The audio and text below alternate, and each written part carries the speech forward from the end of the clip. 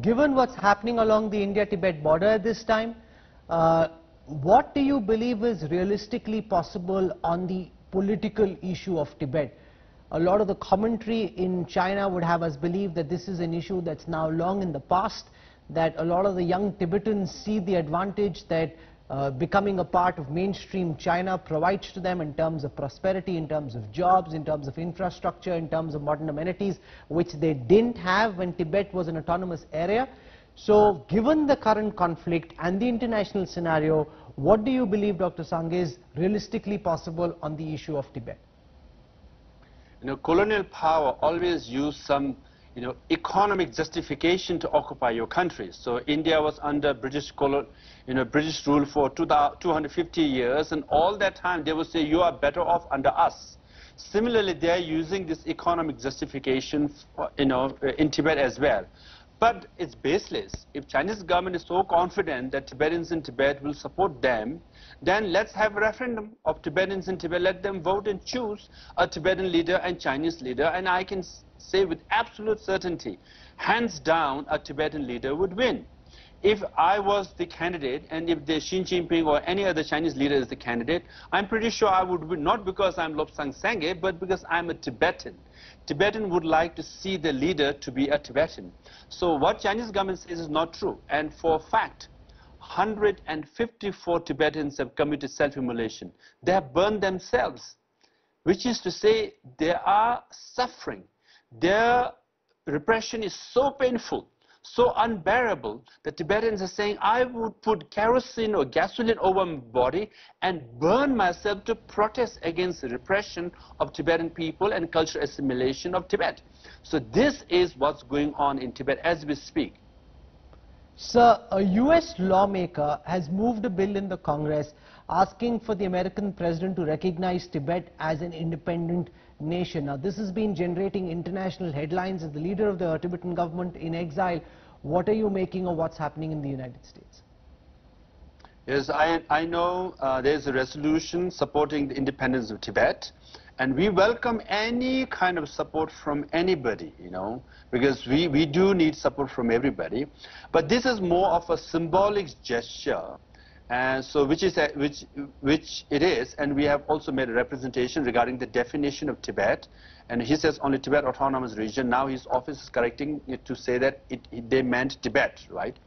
But there is more substantive bill called Tibetan Policy and Support Act of 2019 which was passed in the US House with 392 members supporting it you know out of 426 votes uh, 26 members, which is, you know, 95% of the Congress members have supported the bill. This will, you know, come to the Senate, and if Senate votes, um, then it will go to President Trump to sign it. So that's a more substantive bill. What it shows is that support for Tibet, no matter what Chinese government says, in the US is very strong, even in the European countries are strong, and Australia and many countries are realizing that we need to learn from Tibet and unless you know the issue of Tibet, you will never fully understand China and the Chinese government's maneuvering and manipulation. So this is a lesson even for India and the you know, people of India to know. Learn what's going on in Tibet. Then you will understand what China or Chinese government is capable of. So there's a growing realization all around the world that yes, we should have listened to Tibet 60 years ago. We could have been more careful. Now we are listening, we are paying attention, and the uh, support for Tibet is coming out in a bigger form, including the resolution in the US Congress. Let me now ask you to answer the question that you just posed. What, according to you, Dr. Sangay, is the lesson that the Indian government and the Indian people need to learn from the manner in which China maneuvered itself into Tibet? What lessons do you think this holds for a country like India? Now, there's a famous document called Simla Convention, which was signed in 1914. You know, the Simla Convention on Indo-Pakistan is very well known. Simla Convention on Tibet in India is not known. Since 1914, we have, you know, negotiated and come to terms regarding border of India and China, particularly in Arunachal, and border of China and Tibet, right? And since that time, we have renewed this trade uh, agreement Uh, from 1914 to 2014 to 34 to 44 to 54, and it was all renewed between Lhasa and Delhi. But in 54, it was renewed between Beijing and India, and it came out in the form of Panchshil.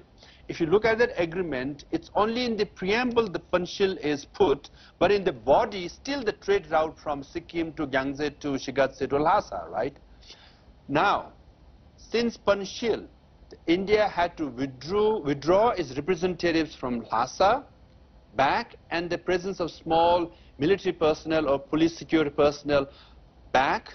And since Panchshil was signed, disappointment after disappointment has happened to India, including the 1962 war, right?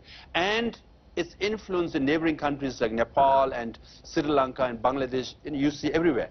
So India needs to learn a lesson by trusting the Chinese government fully, unconditionally, is not the way to go. You must have relationship with China. That's a fact. You must have business relationship with China. That's a fact. But you should make more profit from doing business. Diplomatically, you should gain more over 3,488 kilometers long border. So that's what India needs to learn.